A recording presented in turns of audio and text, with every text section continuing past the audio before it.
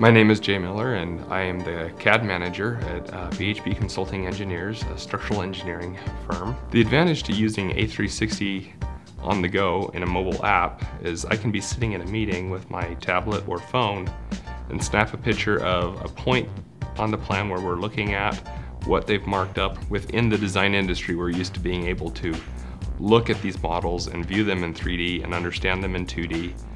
But with the large model viewer in A360, anybody can be on the internet and they can pull up this drawing and look at this model and look around it, uh, look at items in the, in the model, uh, spin it around, and that is really what impresses some of the customers. The wiki feature in A360 uh, gives us the functionality to easily create our own in-house wikis.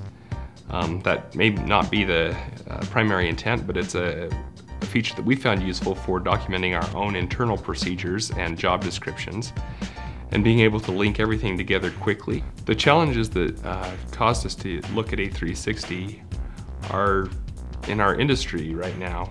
There's a very fast turnaround and a lot of um, decisions get lost. And having a tool that can track those decisions and those decision points is key in, in uh, keeping track of the design and keeping it on, on task. We use A360 to share and collaborate by uh, initially posting uh, a model, for example, but then once the discussion begins on that model, we're able to shoot emails back and forth.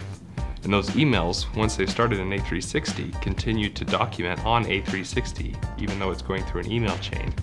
And that creates a chain of uh, events on A360 where we can see where a decision is made. And that's been uh, the most useful tool.